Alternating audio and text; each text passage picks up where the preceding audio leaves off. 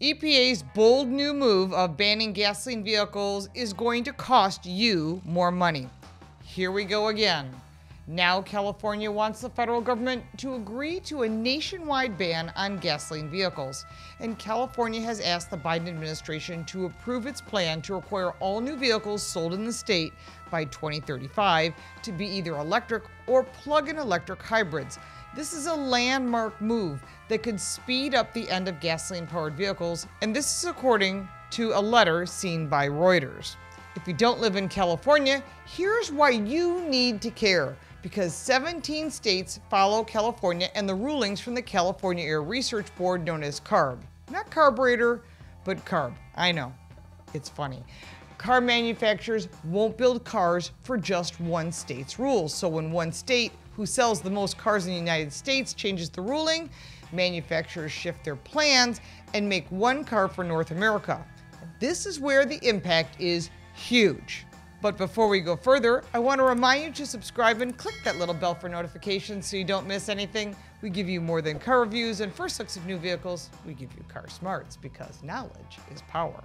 In August, CARB asked the Environmental Protection Agency, or the EPA, to approve a waiver under the Clean Air Act to implement its new rules that set yearly rising zero emissions vehicle rules starting at 2026 and would end the sale of vehicles powered by only gas by 2035 under an EPA proposal released in April of last year to drastically cut vehicle emissions through 2032, automakers are forecast to produce 60% electric vehicles by 2030 and 67% by 2032 to meet the requirements compared to just 5.8% of U.S. vehicles sold in 2022 that were EVs. That's a huge jump. The rules mandate that 35% of the new cars sold would be plug in, hybrid electric, or PHEVs, EVs, or hydrogen fuel cell by 2026. That proportion will rise to 68% by 2030 and 100% by 2035. Again, crazy numbers. A growing number of states are adopting California's electric vehicle rules that are more stringent than what the Biden administration had proposed. Rhode Island, Washington, Virginia, Vermont, Oregon, New York, and Massachusetts are adopting the California requirements.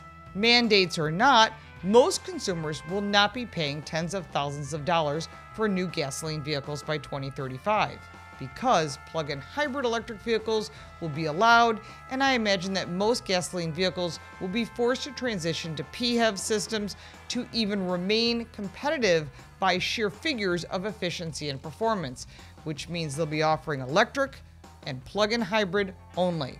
So if this doesn't infuriate you enough, this is the kicker. California is falling far short of its energy needed to power the EV grid.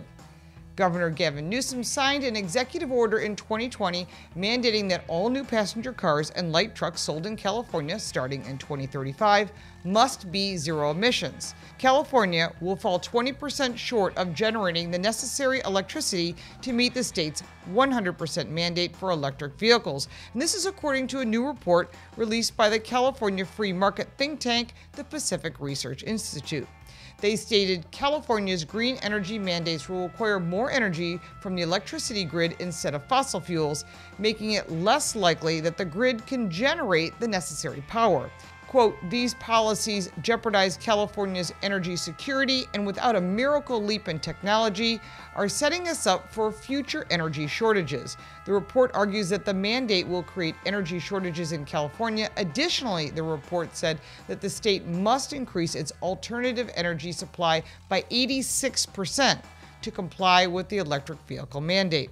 Today's news report confirmed this problem. California can't generate enough power to fuel its electric vehicle mandate. But news reports today are asking people to not use their air conditioning and to reduce their electricity usage, including plugging in their EV. But wait, there's even more craziness. The cost of electricity is going up for some. Most of the time, when you pay for your electricity or your water your gas, it depends on how much you use. You leave on the air conditioning, you leave on the lights or the TV all night, and your electricity bill will go up. That makes sense. But California is about to challenge that basic logic in an attempt to curb rising rates and help electricity for the state's approximately 14 million homes. A new state law will require utilities to charge customers fees for electricity based not only on how much electricity they use, but also how much money they make. Yes, you heard that correctly. You get a raise from your job, and you now pay more for electricity that sort of absorbs that raise. Depending on the proposal the state ultimately adopts, Californians making more than $180,000 a year could end up paying an average of $500 more in their annual electricity bill.